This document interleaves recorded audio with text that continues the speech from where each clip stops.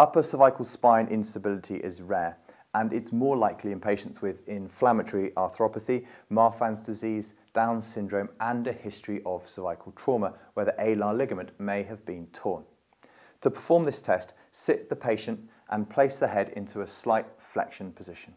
Apply pressure over the C2 vertebrae and then translate the head back over this fixed point by pushing through the forehead. Positive test is indicated by excessive translation over the C2 vertebrae. If the initial head position causes any paresthesia or weakness in the upper limbs, which is often relieved with the posterior translation, this is also a firm sign of upper cervical spine instability.